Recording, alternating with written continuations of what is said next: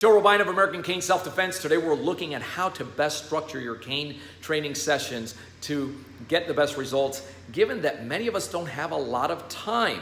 But you should always start every session with a simple question What's the goal for today?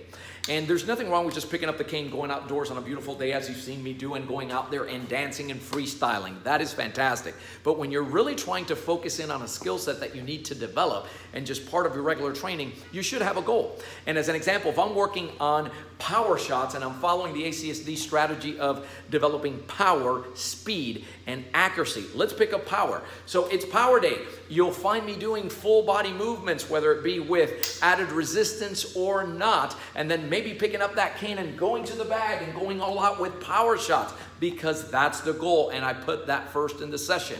It's speed day. Great. Well, maybe I'm sitting down and I'm exploding up from my chair and moving. I'm laying down because I often lay down and have the cane next to me at arm's length. Can I get up from there quick? How about quick draw drills like you have at the Cobra uh, Cane uh, Self-Defense Academy? So individual hasn't drawn first, he reaches for his pockets. Can I be first because my tool's already drawn? Don't assume you don't know this if you haven't trained it. Accuracy, same thing.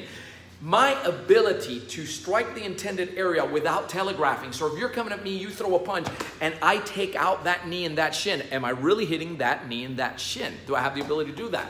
And if you have a warm body to do that with, you need to be very careful or use a drone right? Use a padded tool. Uh, if I'm going here, you may have seen me do that before where I'm hitting the, um, the cane tip, I don't recommend you do it off of a warm body on this one, especially if you're just starting out, but maybe put it on top of a body opponent bag.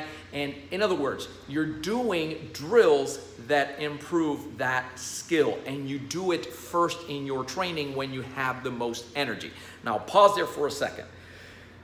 There is a place for fatigue and fight and we're big on it. Again, those of you in, in the Cobra Cane uh, Academy, you're familiar with the concept of fatiguing first. So I have a skill set that I've already developed to a certain level and I want to test it. I want to get better.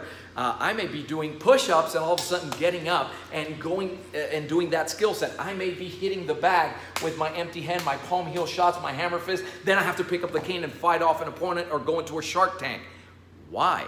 Because anybody can do anything in a relaxed state. But when you're under fatigue, and those of you that have had to at some point run, swim, or fight for your life, you know what I'm saying. Adrenaline has a very unique way of taxing you, of fatiguing you. And if you've never trained like that, then God forbid you find yourself in a situation like that, guess what? You're gonna run out of gas. And I don't want that for you. So there is also a place for fatigue and fight. I should preface the whole thing by saying that safety always first. And get this more is not better. Better is better. I don't have to take all these skill sets in one session and try to pile them all into a workout. There's no sense in doing that. Consistency, shorter uh, the sessions, more uh, frequent throughout the week will get it done. The key is that you're doing something with this tool every single week. And by the way, if I'm doing maneuverability drills here and all of a sudden that cane falls um, and I pick it up and it's a wooden crimson, it's a, a, spinner cane, and I wipe off, you know, the sweat in my hands and my hands are sweating and it continues to happen two, three times, guess what?